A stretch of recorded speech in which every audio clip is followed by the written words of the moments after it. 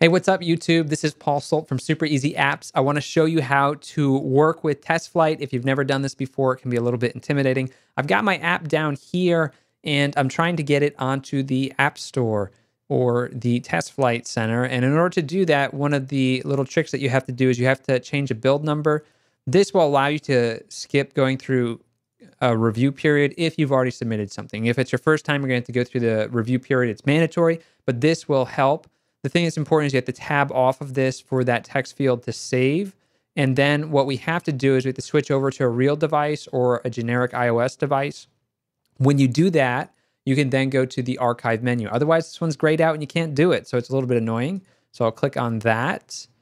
And when I do that, it's going to archive. And depending on how slow your machine is, that will take some time. Depends on how complex your app is, too once we do that, we should see that this appears in the what we call the organizer. That is this window here. And I'm just going to say new build for test flight. This is where you can write notes to yourself and then just click off of that so that it saves that. Then I will click the update to App Store.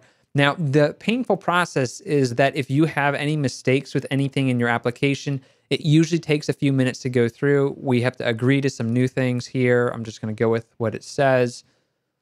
And sometimes what it's going to do is going to sign all our symbols, create the app, and sometimes this fails, and it fails either before it sends it to Apple or sometimes it fails after it sends it to Apple, which can be really frustrating because you don't know about any of the problems until waiting like five or 10 minutes or however long it takes to update the app to the store. And if it's like a two gigabyte app, good luck with that. It's going to take a while.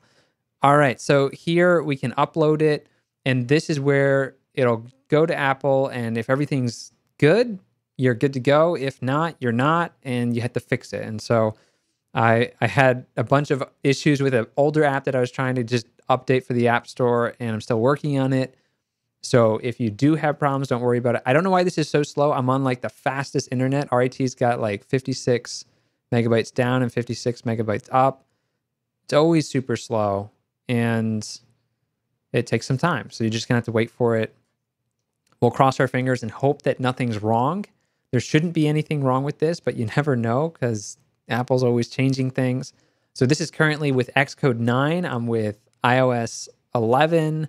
And all I want to do is show you how to work with TestFlight. So what we need to do is we have to submit a build because part of the, the thing that is difficult is when you submit the build, it's a little bit confusing how to share that build with your beta testers.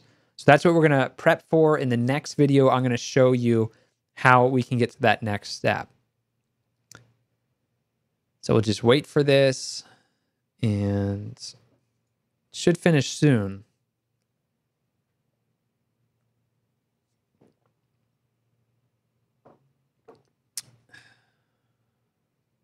looking good.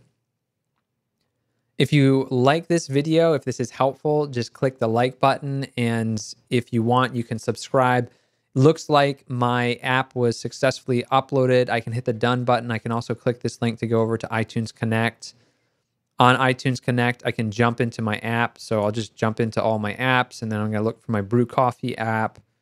Got a bunch of apps sort of in production. And once I'm in here, I can see all this stuff. Now, this is where I find it really confusing. I'm going to pick up with this in the next video. So I'll see you in the next video. And I hope that I helped you get your app to build. It's really important that you set it to a real device. So if we jump back over to Xcode just to review, you need to make sure that this is on generic iOS device or the menu options for the archive are going to be grayed out. And that's kind of annoying.